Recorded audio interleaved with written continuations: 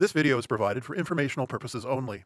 The contents of this video cannot substitute for proper training under and implementation of industry standards applicable to servicing and testing of electrical equipment. You must carefully review and follow OSHA, NFPA, and other regulatory requirements, equipment manufacturer's instructions, and your company's safety procedures when conducting any testing or servicing of electrical equipment.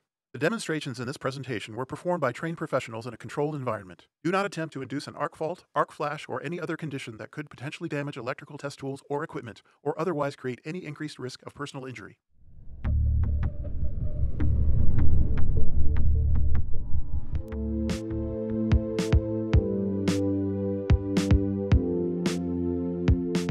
In addition to shock hazards, one of the most dangerous situations anyone working with electricity faces is an arc flash.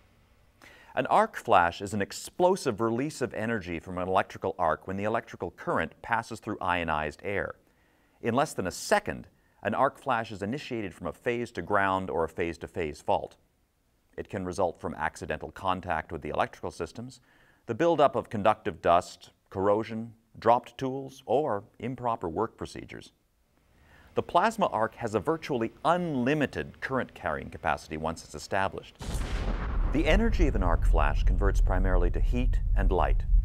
Within a millisecond, temperatures at the epicenter of an arc flash can reach 35,000 degrees Fahrenheit. That's four times hotter than the surface of the sun. These high temperatures are capable of explosively vaporizing metals such as aluminum and steel. The presence of copper can help sustain the plasma arc, causing a single-phase arc to propagate into a three-phase arc. The arc blast that closely follows is a dynamic pressure wave created by the instantaneous expansion of gas.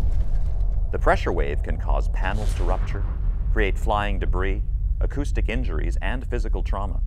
An arc flash lasts until the overcurrent protective devices open the circuit. A fast-acting fuse may open the circuit in several milliseconds, or a circuit breaker may operate within six cycles or less, but by that time, the damage has already been done. You might think that these are isolated or infrequent events, but that's not the case. Industry sources estimate that in the U.S., 5 to 10 arc flash accidents occur each day. The U.S. Bureau of Labor reported that in one recent year, a thousand electrical workers suffered shocks and burns, some fatal. It is estimated that 50% of these injuries were related to arc flash. While you can't totally eliminate the dangers of working with electricity, with careful planning and applying what you've learned here today, you can reduce them. On behalf of everyone at Fluke Corporation, thank you for watching.